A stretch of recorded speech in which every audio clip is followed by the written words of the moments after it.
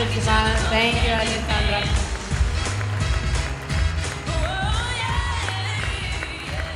Thank you for a beautiful jive.